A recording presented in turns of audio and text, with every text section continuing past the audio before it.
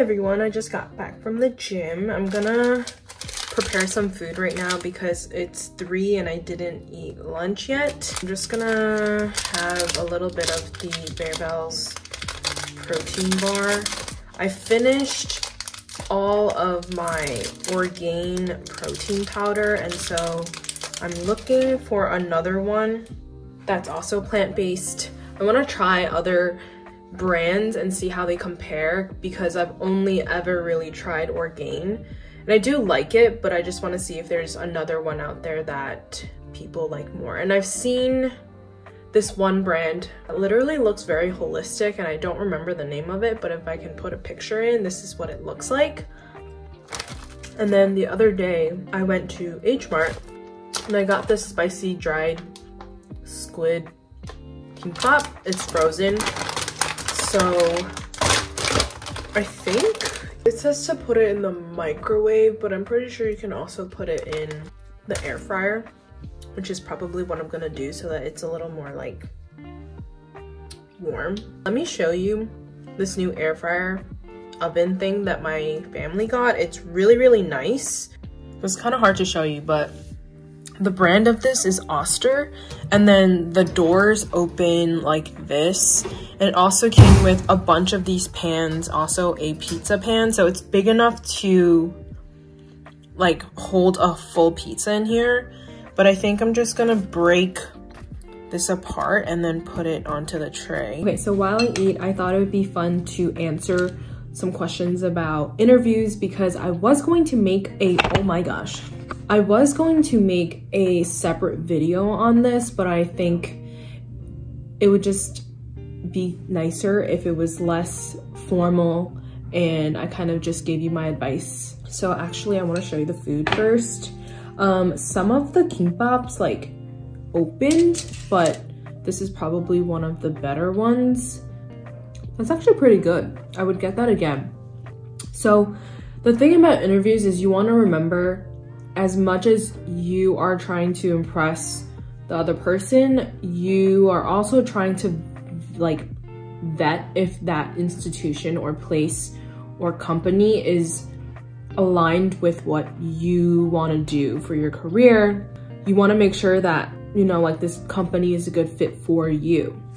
And before you go on your interview, what's important is to do a little bit research about the actual company. You can Google look on the website itself. Sometimes they'll have like mission statements or things like that. Before you go into your interview, it's also important to have a list of questions. They're always going to ask you that, and you better have at least one or two questions um, ready because it shows that you're interested and that you're present during the interview.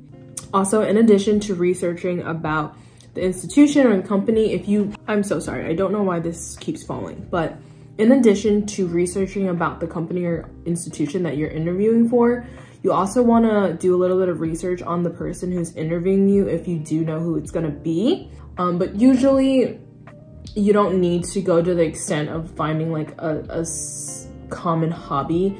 It's just more of knowing the person, knowing their seniority in the area that you're working in, things like that. So I remember when I was interviewing, there were a couple of things that caught me off guard the first time. I was asked to give a story about one of my most memorable patients and I had just come off of rotation. So they were pretty much all fresh in my mind, but I had so many memorable patients, I couldn't really choose one.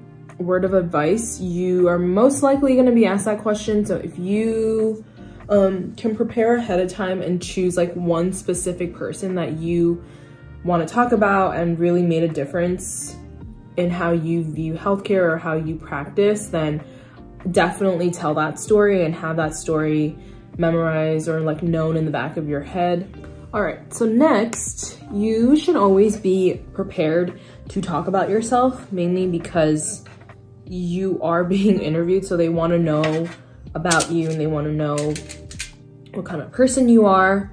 It doesn't have to be long and you don't need to include all the minor details like you were born on this day at this time. Some people also like to know about your hobbies and what you do in your spare time, just because they want to make sure that you're taking time off for your mental health and things like that. So be prepared to talk about what you like to do when you're not working or when you're not in school.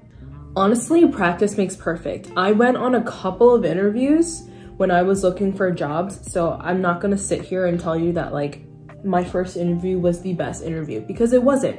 But practice makes perfect. So whether you sit in front of a mirror and ask yourself questions or you have someone ask you questions, you're just gonna get better at answering them as you go. Um, so don't beat yourself up if your first interview doesn't go the way you want it to because there's always another one for you out there. And then most importantly, just be yourself. They really just wanna get to know who you are.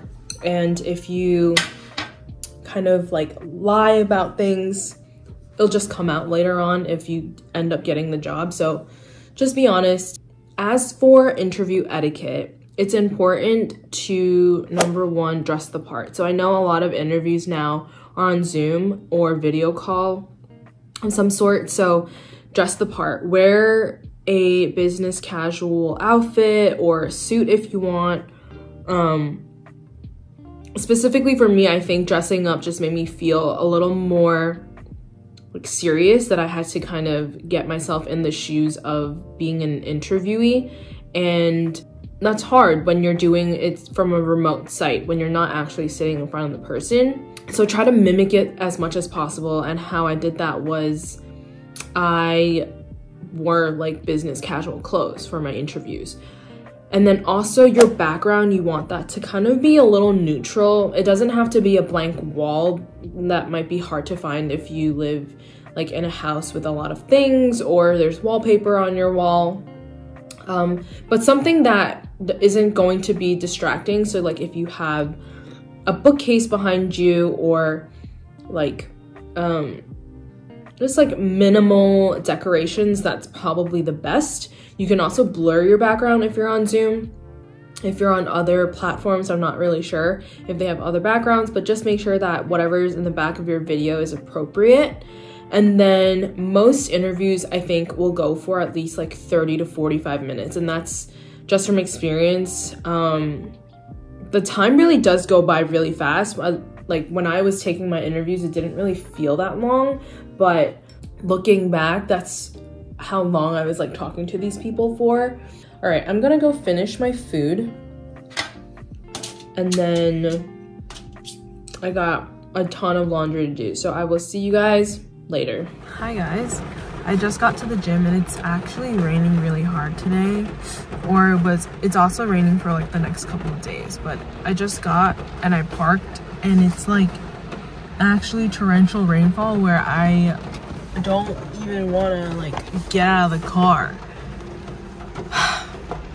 Hopefully it softens up a little bit so I can just like run inside, but I really don't want to take out the umbrella because then that's like an extra thing that I need to carry.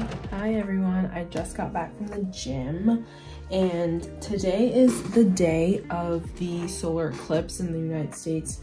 So it's it's supposed to go from Texas all the way to Vermont, I think and New York City is not in the total like eclipse area, but we see like a sliver of the sun. So it's gonna happen in about an hour or so. I just went out to like look at the sun because um, it's it's like a gradual shift almost, but then the peak time when you see the least amount of the sun is at like 325 five-ish, um, which is in a little bit. So right now I am working on this art work piece.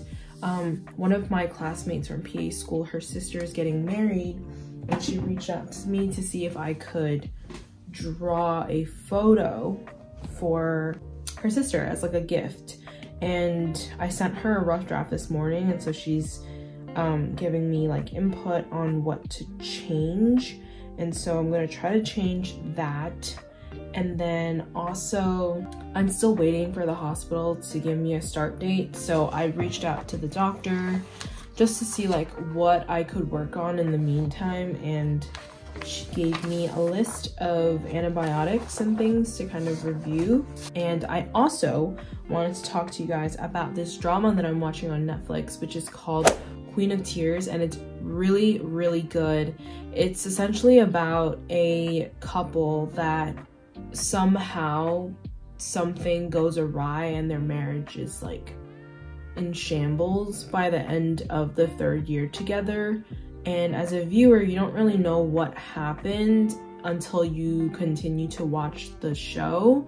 And the show is supposed to help you like see the troubles of marriage, but um, also showcase how these two individuals kind of revive their marriage and learn to fall in love with each other again because um, marriages work. And so you have to put in like effort in order to maintain that bond between like two people.